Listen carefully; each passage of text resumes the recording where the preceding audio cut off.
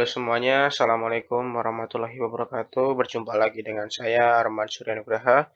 Pada kesempatan kali ini, saya ingin berbagi informasi teknologi apa yang digunakan pada aksi penyampaian aspirasi di gedung KPK ini.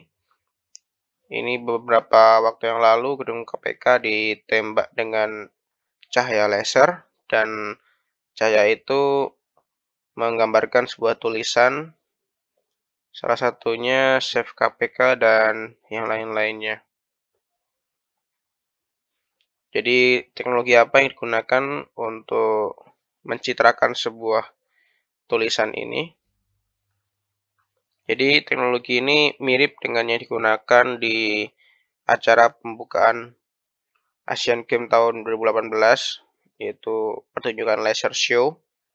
Jadi sebelum ditembakkan cahaya laser ini akan diolah dulu di sebuah software, lalu dicitrakan menggunakan alat salah satunya ini, itu laser cube seperti ini, contohan gambarnya.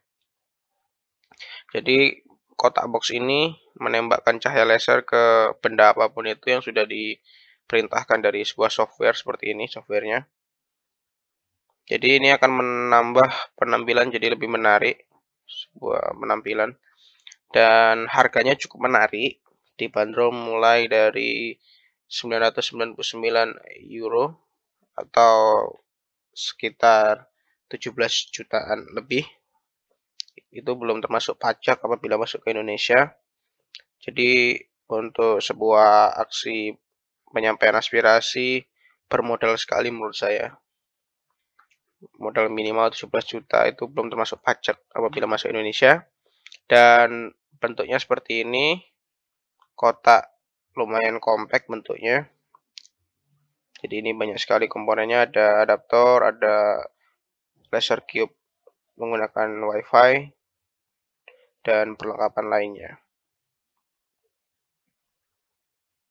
Jadi ini sudah digunakan pada banyak sekali acara ini teknologinya. Jadi gunanya untuk menambah supaya cara lebih menarik bisa menyampaikan apa makna dari sebuah acara tersebut. Dan ini diolah dalam sebuah software untuk gambar apa saja yang akan dicitrakan dari laser cube ini dan bisa menggunakan iOS, Windows, Mac, dan Android. Tinggal di pairing saja.